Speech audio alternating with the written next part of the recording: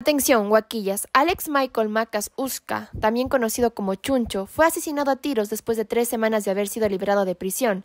La familia del joven luchó desesperadamente por su liberación, debido a las amenazas de muerte que habían recibido. Sin embargo, su retorno a la libertad no garantizó su seguridad, ya que fue encontrado sin vida en la ciudadela Milton Reyes del cantón fronterizo Huaquillas, ubicado en la provincia de Loro, Ecuador. El cuerpo de Macas Uska, de 23 años de edad, fue descubierto este sábado 10 de junio a las 6 y 50 de la mañana, lo que llevó a la intervención de la Policía Nacional para el levantamiento del cadáver. Según los familiares presentes en el lugar, el joven era consumidor de sustancias y había recibido amenazas de muerte durante su tiempo en prisión en Machala. Esto generó preocupación y temor en su entorno familiar. En un intento desesperado por proteger la vida de Macas, Uska, la familia agilizó los trámites para obtener su liberación, sin imaginar el trágico desenlace que ocurriría. Las autoridades policiales han planteado dos hipótesis sobre este lamentable suceso.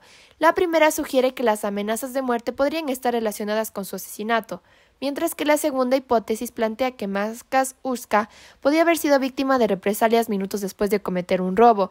Este trágico suceso ha dejado consternada a la comunidad local, que espera que las autoridades esclarezcan los detalles del crimen y lleven a los responsables ante la justicia. ¿Cuál creen que es la teoría que se acierta más en este caso? Déjame saber en los comentarios. A su vez, ¿consideran que las amenazas de muerte están relacionadas con el asesinato o creen que Makas Uska pudo haber sido víctima de represalias minutos después de cometer un robo?